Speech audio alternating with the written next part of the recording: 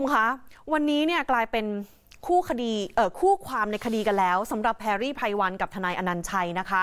สืบเนื่องจากการโพสต์ของแพรรี่ที่ทนายอนันต์ชัยมองว่าหมิ่นประมาทตัวเอง แล้วไม่ได้ฟ้องแพรรี่คนเดียวฟ้องคนเข้ามาเม้นด้วยนะคะ ก่อนจะไปถึงเนื้อหาท่านผู้ชมบอกก่อนว่างานนี้แพรรี่ไม่กลัว โต้กลับว่าถึงตัวเองไม่ได้กระดูกเหล็ก แต่ตาลปัตรเหล็กนะจ๊ะ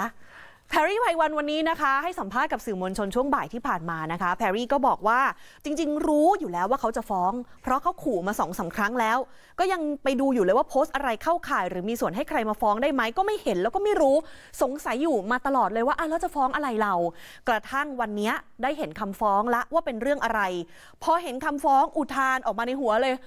อ๋อเหรอคะ แล้วเธอก็เบะปากด้วยนะ พอพูดคำนี้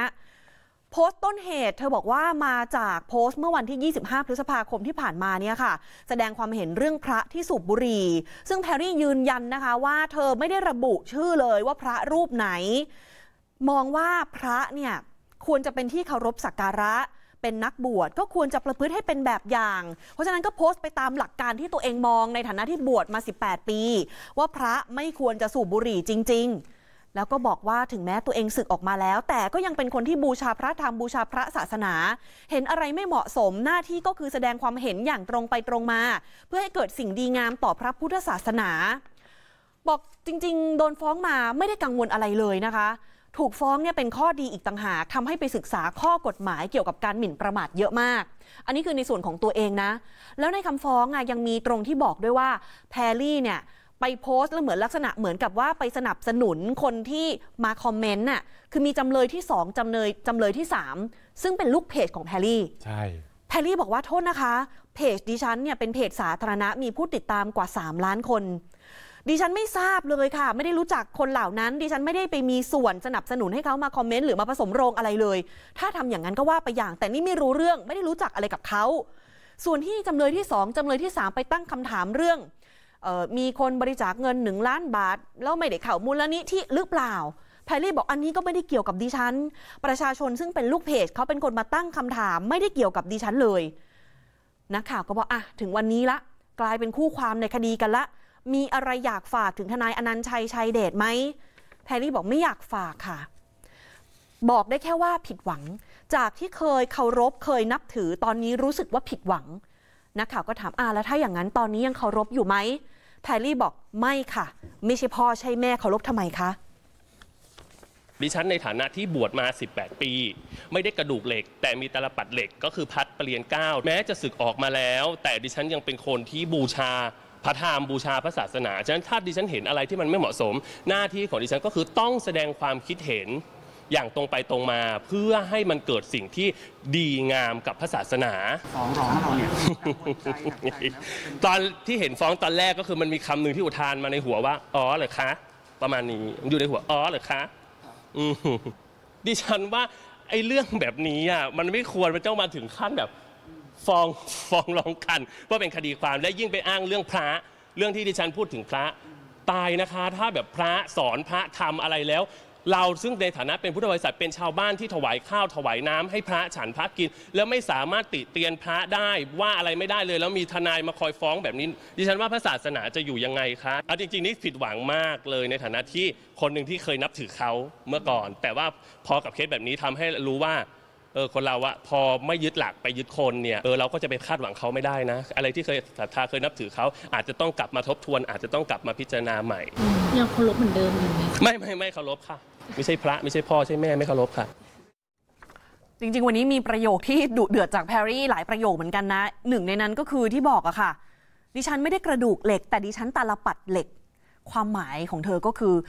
ก็ได้รับพัดปรริญญาเก้าได้รับพระราชทานมานะ พัดปรริญญาธรรมเก้าประโยค ดิฉันจบการศึกษาสูงสุดในพระศาสนานะคะ ดิฉันตาลปัดเหล็กนะคะ ส่วนที่เป็นเนื้อหาสาระก็มีอีกค่ะ แพรรี่ยืนยันว่าสิ่งที่ตัวเองโพสต์ไปเนี่ยก็เพราะว่าคือเป็นพุทธบริษัทอะค่ะเป็นหนึ่งในพุทธบริษัท 4 เป็นผู้ที่ถวายข้าวถวายน้ำให้พระ ก็ต้องสามารถติเตียนพระได้สิ ถ้าไม่สามารถติเตียนได้ แล้วยังมีทนายแถมยังคอยฟ้องแบบนี้ พุทธศาสนาจะอยู่ยังไง ย้อนกลับไปสมัยพุทธกาลวินัยของพระหลายข้อก็มาจากการติเตียนของชาวบ้าน ที่สำคัญโพสต์ของดิฉันไม่ได้มีอคติกับใคร ไม่ได้ระบุชื่อใคร ย้ำว่าขอให้ถือหลัก อย่าไปถือคน บอกว่าคือคนพุทธในเมืองไทยเนี่ย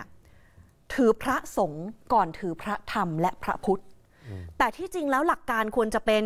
ถือพระพุทธ ถือพระธรรม แล้วค่อยมาเป็นพระสงฆ์ไม่ใช่เอาพระสงฆ์มาตั้ง และเอาพระธรรมมาล้อตามพระสงฆ์อย่างนั้นไม่ถูก นี่แหละเลยทำให้หลงทางได้ง่าย นี่คือหลักการที่เธอบอก อีกประเด็นหนึ่งนะคะ คือบอกอย่างนี้ท่านผู้ชมทนายอนันต์ชัยเนี่ยไปศาลแต่เช้าแล้วให้สัมภาษณ์ก่อนแพรรี่ มันก็จะมีหลายประโยคของทนายอนันต์ชัยหนึ่งในนั้นคือการพูดถึงคนที่จะมาเป็นทนายให้แพรรี่ ซึ่งณตอนนี้ยืนยันแล้วนะคะ ก็คือทนายเดชา ทนายใครทุกนะคะทนายเดชากิติวิทยานันท์นะคะ ทั้งสองคนยืนยันแล้วว่าใช่ ประเด็นที่ทนายอนันต์ชัยพูดถึงทนายเดชาก็คือ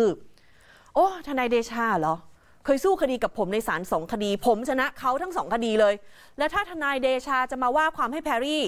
ผมจะให้ทนายฝึกหัดมาว่าความแทน เพราะว่าคนละชั้นคนละระดับกับผม แพรรี่บอกว่า คือไม่เห็นด้วยกับคนที่ยกตนข่มท่าน ต้องให้เกียรติกันนะ แล้วอย่าลืมมันมีเรื่องมารยาททนายความอีกลักษณะของดิฉันก็คือต้องการนำเสนอว่าอะไรเป็นสิ่งที่เหมาะสมไม่เหมาะสม และให้ชาวพุทธช่วยกันตั้งคำถาม ไม่ใช่ว่าเห็นพระทำอะไร แล้วก็คิดว่าสิ่งที่พระทำถูกไปหมด โดยเฉพาะพระถ้าถูกมองว่าเป็นพ่ออรหันเป็นผู้วิเศษไปแล้ว คนก็จะไม่ค่อยกล้าตั้งคำถามเพราะกลัวว่านั่นคือเป็นเป็นเรื่องของเป็นเรื่องบาป เป็นเรื่องของนรกอะไรดิฉันไม่อยากให้คนพุทธมีวิธีคิดแบบนี้ อยากให้คนพุทธในเมืองไทย ถือพระพุทธกับพระธรรมก่อนพระสงฆ์แต่คนพุทธในเมืองไทยมันผิดหลักก็คือมันถือพระสงฆ์ก่อนพระธรรมกับพระพุทธฉะนั้นมันก็ไปยึดในตัวคนมันก็ทำให้หลงทางได้ง่าย ที่ถูกมันต้องยึดพระธรรมสิคะยึดสิ่งที่พระพุทธเจ้าท่านสอน แล้วก็เอาพระธรรมกับสิ่งที่พระเจ้าสอนเนี่ยมาตรวจสอบสิ่งที่ครูบาอาจารย์ของตนหรือพระสงฆ์ที่ตนตัวเองศรัทธาทำว่าเออมันสอดคล้องกับพระธรรมไหมไม่ใช่ไปเอาพระธรรมมารับรองพฤติกรรมของพระที่ตัวเองศรัทธาดิฉันว่าไม่ถูกต้องไม่ว่ากับใครทั้งนั้น อันนี้ฉันไม่ไหม